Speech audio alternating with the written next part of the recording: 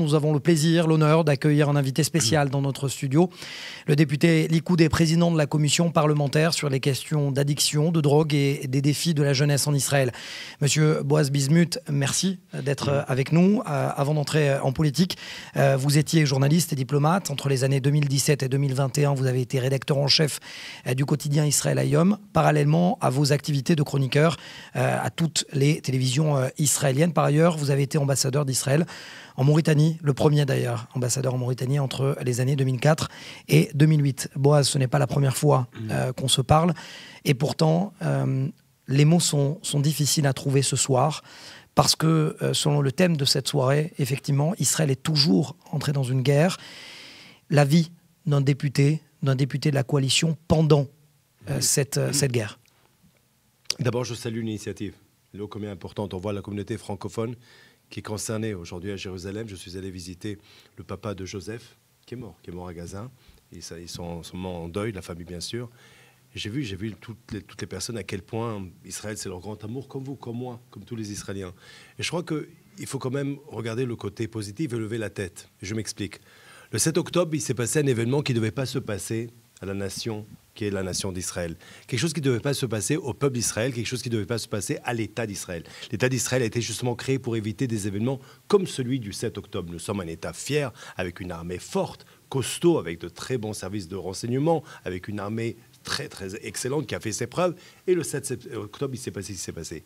Sauf que déjà le 8 octobre, on a vu qu'on a une armée, une armée très forte, on a un gouvernement qui prend des bonnes décisions, mais surtout, et là je salue le peuple, non seulement le peuple d'Israël, de l'État d'Israël, mais le peuple, en juif, le peuple juif en général. Regardez comme tout le monde est concerné, tout le monde est mobilisé, et ça c'est la fierté d'Israël. Maintenant, ce qui concerne le monde, et c'est important aussi. Bien sûr, on a besoin de cette légitimité, de ce monde qui nous soutient. Mais il y a des moments aussi dans notre histoire où ce qui est important, c'est avec tout le respect que je dois, et tu sais, Mathias, euh, à quel point à chaque fois on parle de la, de, de, de la, du peuple, de ce que le peuple du monde pense. Mais aujourd'hui, il y a des moments où il faut aussi plutôt écouter aussi ce que les Israéliens pensent, ce que les Juifs du monde pensent.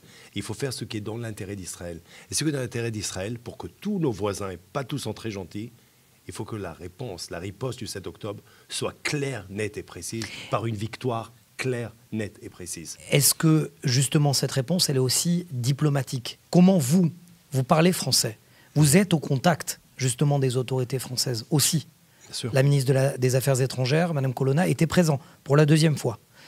En tant que francophone, en tant qu'ancien diplomate, et aujourd'hui membre de cette coalition, c'est quoi votre réponse? Ben, je vais vous dire, il y a le côté euh, positif et il y a le côté qui est un peu moins positif, mais pas négatif, et je m'explique. Déjà, lorsque le président français Emmanuel Macron est venu nous rendre visite après une visite de soutien, ben, le Premier ministre italien m'a invité et je faisais partie de la délégation israélienne dans cette rencontre avec le président français. Et là, on a entendu le président Macron qui nous parlait justement, d'abord, on a vu, on a vu vraiment sa solidarité et il parlait d'une coalition internationale avec Israël contre le Hamas. Donc c'était clair. Ça, c'est le côté que j'aime, je préfère. Au niveau des médias français, vous savez, il y a eu beaucoup de cycles de violence entre nous et, Gaza. C'est la première fois où je me fais interviewer par France Info, par exemple, et après des journalistes m'envoient des messages de solidarité. C'est quelque chose que j'ai jamais vu dans le passé. D'un autre côté, bien sûr, il y a les appels de cesser le feu, il y a des votes au Conseil de sécurité qu'on aurait attendu des Français d'être beaucoup plus clairs et beaucoup plus du côté d'Israël sur ce point. Et je dirais aussi que lorsque le président Macron, que je salue beaucoup et que je respecte beaucoup, et que, et que j'ai beaucoup apprécié sa visite et ce qu'il a dit, lorsqu'il parle du fait qu'il euh, euh, faudra, il faudra mettre 10 ans, 10 ans pour euh, obtenir les objectifs de cette guerre, eh bien désolé, il faut le dire en français au président français, on n'a pas besoin plus de un an, mais ça va être long. Et pour ça, on a besoin de cette légitimité, légitimité internationale. Vous savez, des foules, des manifestations, il y aura, on entend très bien leur slogan, le fameux From the river to the sea, Palestine be free, ça veut dire que vous et moi, eh ben, à la mer, même si on ne sait pas nager. C'est un slogan antisémite pour vous, très clairement bien sûr, Mais bien sûr, bien sûr. Ce qui me choque, c'est pas ça, c'est que c'est devenu un slogan acceptable, alors qu'il est purement antisémite, il est purement antisioniste. Ça veut dire quoi? C'est-à-dire qu'on retourne un petit peu au Nasser de, de, de 67, vous et moi, à la mer, si on sait ou pas nager, point barre. Aujourd'hui, euh, vous dites qu'il euh, y a un combat aussi au niveau de la communication. Bien sûr. Il est lequel, justement? Comment, quand les, échelles de valeur ne sont pas les mêmes, quand il y a un Hamas qui utilise des civils comme bouclier humain, et en face, un État régulier? Ben, ça, c'est une de mes plus grandes frustrations.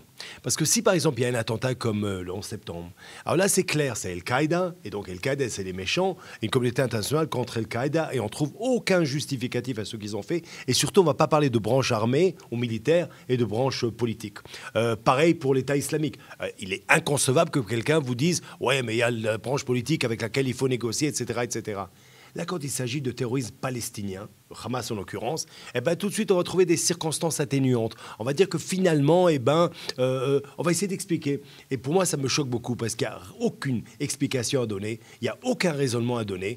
quand une femme est abusée, quand un enfant est égorgé, désolé, rien, mais rien ne permet une telle action. Et là, je m'attendrais, je m'attendais à la presse internationale qu'elle soit beaucoup plus claire. Et quand le 11, le 11 octobre, donc quatre jours après, je me fais interviewer par des médias, y compris européens, et les journalistes qui me posent la question et qui me disent, mais comment est-ce qu'on peut être sûr que les vidéos sont réelles et sont vraies. Désolé, ils n'auraient jamais posé ces questions après des attentats en Amérique, en Grande-Bretagne, en Espagne ou ailleurs. Le mot de contexte du euh, euh, directeur secrétaire général des Nations Unies vous a dérangé?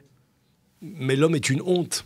L'homme est une honte, attends. Euh, justement, c'est de ce que je parlais. Lorsqu'une personne comme ça, qui est quand même secrétaire général des Nations Unies, secrétaire général des Nations Unies, Attends, il faut le dire et le répéter pour croire qu'il est vraiment à ce poste. Et lorsqu'il vous dit que le massacre ne s'est pas déroulé dans un vide, c'est exactement ce que j'ai dit avant. Ça veut dire quoi finalement? Que le secrétaire général des Nations Unies trouve une explication, un raisonnement à ce qui s'est passé, à des viols de femmes. Désolé, cet homme est une honte pour cette institution. La question que j'ai posée et je pose depuis le 7 octobre, est-ce qu'Israël a besoin politiquement de se justifier? Très bonne question. Moi, je pense, si vous me posez à moi la question, je pense que non. Mais on vit dans un monde dans lequel, soi-disant, et ça, c'est un petit peu, c'est très, c'est pas israélien, c'est très juif tout le temps presque s'excuser. Désolé si je respire, désolé si je, me suis réveillé le matin. Mais ce qui s'est passé le 7 octobre est tellement disproportionné que ça demande aussi que nous, on se regarde devant le miroir et qu'on agit de façon différente. C'est fini. C'est fini de chaque fois demander au monde, oui, monde, monde, alors regarde le miroir si vous voulez, euh, comme analogie, monde, monde, est-ce que je suis OK, est-ce que je suis correct? Non, il y a des moments dans l'histoire où il faut être nous, notre propre juge. On sait très bien ce qu'il faut faire. Il faut bien sûr ramener les otages, mais il faut aussi anéantir le Hamas. Et je dirais même plus encore, globalement, quand vous habitez à côté quand vous résidez, quand vous habitez, quand vous avez une entité terroriste à vos frontières, que ce soit dans le nord Hezbollah, que ce soit dans le sud Hamas, et qui dit je vais vous tuer, eh bien, il faut le prendre au sérieux. Et c'est impossible après le 7 octobre qu'on puisse laisser une entité terroriste vivre dans nos frontières. Et je dirais encore une chose concernant le 7 octobre. Vous savez, on a bâti un paradis en Israël. Même si on aime se plaindre, vous savez, on se plaint, on attend 5 minutes, 2 minutes le médecin ou un MRI, ça y est, c'est la fin du sionisme. Là maintenant, je crois qu'il faut qu'on voit un petit peu le paradis qu'on a vécu ici. Il y a un enfer derrière la frontière. Et malheureusement, le 7 octobre, on a laissé la porte ouverte. Ça sera peut-être sans doute euh, ma dernière question, mais et j'aimerais que vous développiez sur, sur cette question-là. Beaucoup ont contesté, justement, le fait qu'il n'y avait pas de symbiose et d'unité dans le, dans le peuple. Vous parlez de peuple, de peuple euh, israélien et du peuple juif en général. Comment on ramène cette unité justement Vous savez, j'étais avant correspondant à Paris et, pendant de longues années même. Déjà, Mitterrand était donc regardez, c'est presque l'époque de Vercingétorix. Et je me souviens que euh, après Mitterrand, il y avait le président Chirac. Et chaque fois, je posais comme ça aux ses conseillers la question comment se fait-il qu'il est si costaud, si fort, 20 ans maire à Paris, ensuite président de euh, euh, deux septennats ou 5, 7 ans et 5 ans? Et la réponse était la cohésion nationale, la force. Lorsqu'il allait au salon de l'agriculture, la force, la cohésion nationale. Finalement, Israël n'a aucune chance si on n'est pas uni. Vous savez, l'antisémitisme, l'antisionisme, anti-Israël, anti-juif, ça existe depuis toujours et ça va le rester. Hein. L'idée elle-même, malheureusement, déjà le marchand de Venise, 1570, Shakespeare avec Shylock, ça c'est déjà vieux comme le monde. Donc on sait très bien. Alors, laissons déjà, ça veut dire laissons aux autres, à ceux qui ne veulent pas nous aimer, les, donnant, donnant leur ce, ce, luxe, entre guillemets bien sûr, et nous, entre nous, eh ben, il faut que quand même on s'apprécie, surtout qu'en 75 ans d'existence, regardez cette beauté de pays qu'on a, qu'on a, a bâti. Et à chaque enterrement que je vais, alors il y a bien sûr les larmes, les larmes de nous tous. Et moi, comme étant élu, je ne suis pas du tout, euh, Mathias, j'ai pas honte de vous dire qu'en tant qu'élu, je suis là-bas debout et je pleure comme un enfant parce que c'est triste. Chaque enfant, chaque, je dis enfant, un soldat, c'est un enfant pour nous. C'est quoi un soldat de salle? C'est un, un, gamin. Et, et, chaque enfant comme ça, on pleure, on a le deuil. Mais je regarde autour, je regarde autour comme ça dans le cimetière, et je vois ces foules des villes entières qui arrivent. Et là, je vois l'union, Là, je vois Israël et c'est pour ça qu'on gagne. Et c'est pour ça qu'on va gagner. Et c'est pour ça qu'on est là pour toujours.